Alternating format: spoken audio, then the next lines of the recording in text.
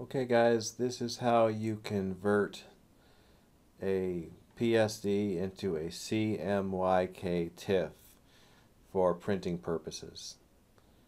Alright, the first thing that you'll need to do every single time is save your PSD. So presently I have this poster I got off the internet. I'm going to save it somewhere in my downloads folder and just call this um, design one just like that.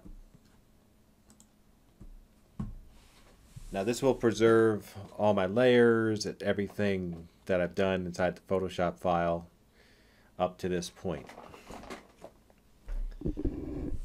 Now I'm going to move on and turn this into a CMYK TIFF. Now it's very important that you save your file first and that you're done with whatever you're doing because you're basically you're basically going to be converting this into a completely different flat file.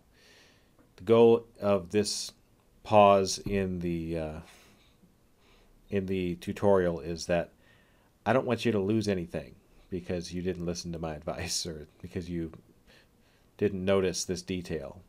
Once you turn it into a flat file, you're going to lose all your layers. Now this doesn't really have any layers, but still. Let's go ahead and uh, Wait, where are my layers at?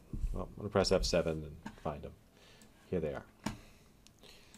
All right, so the first thing you want to do, and this seems like a small deal, but it's a big deal. After you press, after you hit save, that's the first step, is you want to click on the options for layers, and you want to choose to not merge down, but flatten the image. That'll take your file size down as small as it can go. Okay, so flatten the image. Next step is go to image mode and convert it to CMYK. When this happens, it's going to clip your color gamut. So any of your super bright colors are going to disappear. But normally you're not going to see hardly any changes unless you're using like a neon color.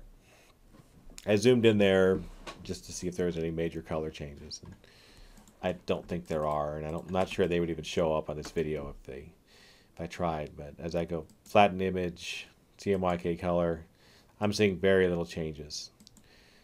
You might notice in his eyebrows right there that he's lost a little bit of contrast because there's some saturation in there that didn't make it through, but that's it.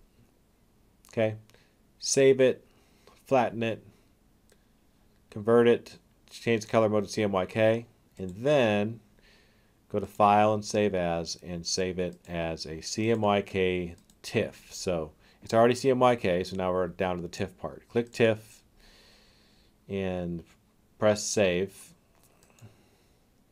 and choose Zip for the image compression. Then press OK. And that's all you have to do. The last step obviously is taking the CMYK TIFF and linking it with your InDesign file. And there's another video that covers how to do that. But there you have it in a nutshell.